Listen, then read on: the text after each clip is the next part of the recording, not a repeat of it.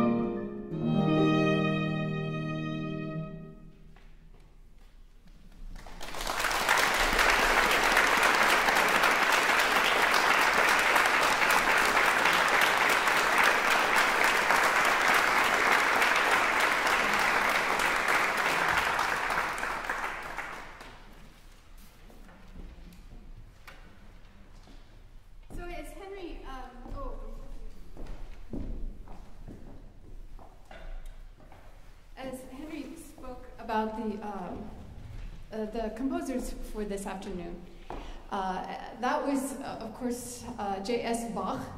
Maybe not, of course, but you know, he's a big guy. And um, we took that from the, um, the actually the original of the, the sonatas for organ, and that was the first sonata. So um, the I had played other um, accompaniments with flute, the flute sonatas.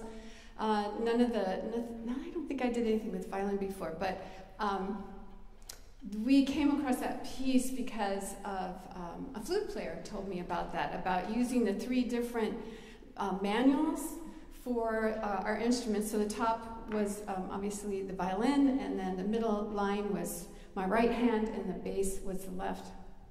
And um, I think it works kind of nicely.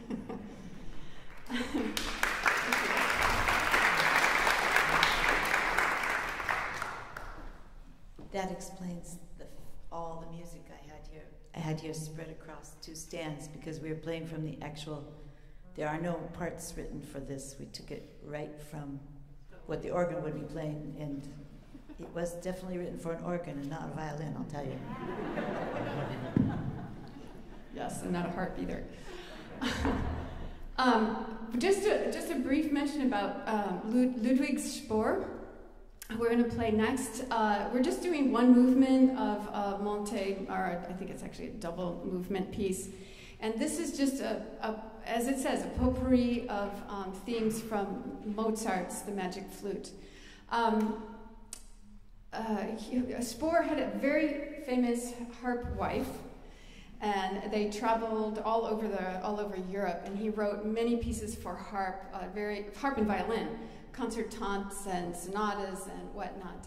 Um, I actually have been able to avoid playing any of his music for my entire career until right now. um, but it's lovely music, and that's just not, I, am just teasing. I wasn't avoiding it, it just never happened. But um, now it's going to happen.